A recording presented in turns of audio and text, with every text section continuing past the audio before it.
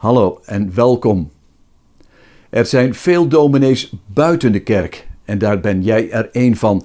Dat zei Grita Vosseman afgelopen zondag tegen oud-wethouder Jan-Willem van der Kolk na afloop van de tweede preek van de leek in de Semstraatkerk in Stadskanaal. Van der Kolk sprak daar over zijn levensgeschiedenis en de veranderingen in zijn godsbeeld.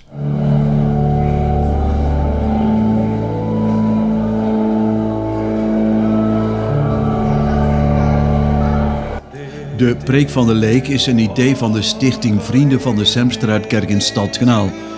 November vorig jaar trapte oud-schooldirecteur Jan Willems af met het verhaal over zijn leven en de Westerschool.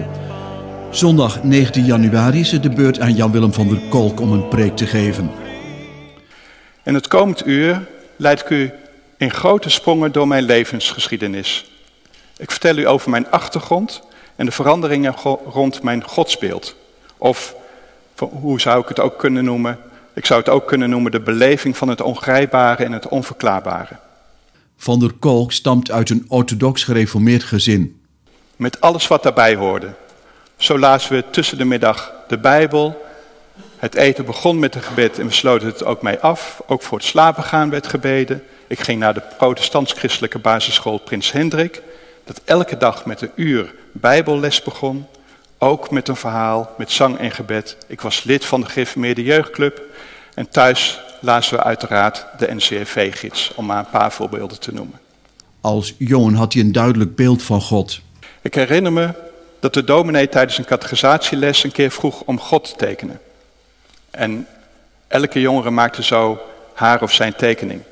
Maar ik hoefde daar nauwelijks bij stil te staan. Het kostte me weinig moeite om een keus te maken. God, dat was een vader, een oudere man met een baard en een staf, een hoeder en een beschermer van de kudde schapen.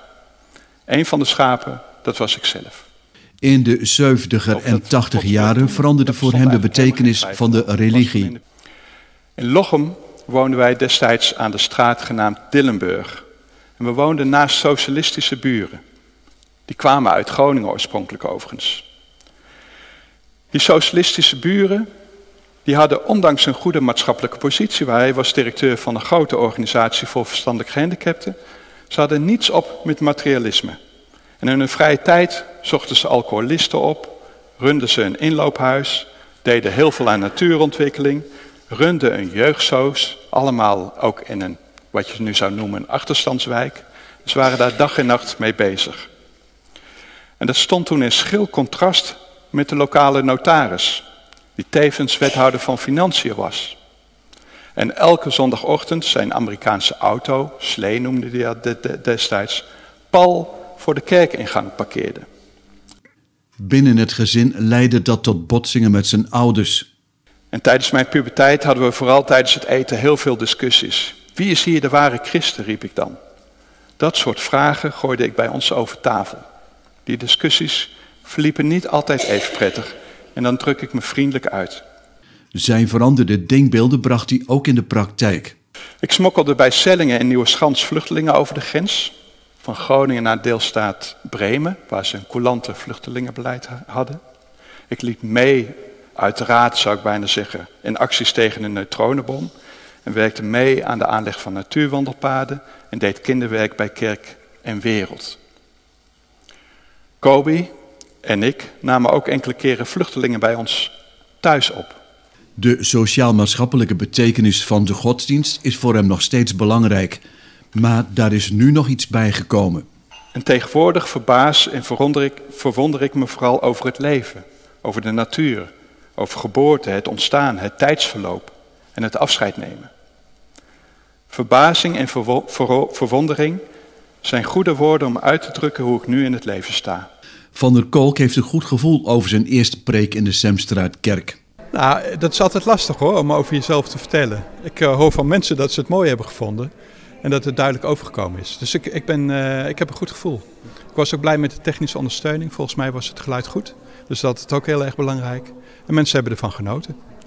Ook in de geschiedenis van de familie van der Kolk is er al een link geweest met het socialisme. Wat aardige was ook, van, uh, dat ik ook even terugkeek naar mijn grootvader.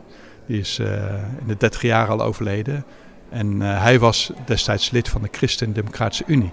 De Christelijke Democratische Unie was een kleine pacifistische politieke stroming binnen de christelijke kerk. Hè, onder dominee Buscus, mensen weten dat misschien ook wel. En die is opgegaan, net als de SDAP, in de Partij van de Arbeid. Dus, dan heb je, dus de link was er al? Dan heb je de cirkel weer rond. Ja. Na afloop van de preek sloot Grita Vosselman van de stichting Vrienden van de Semsteredkerk heel toepasselijk af met de woorden. Er zijn, heb ik ontdekt, veel dominees buiten de kerk. En daar ben jij er een van.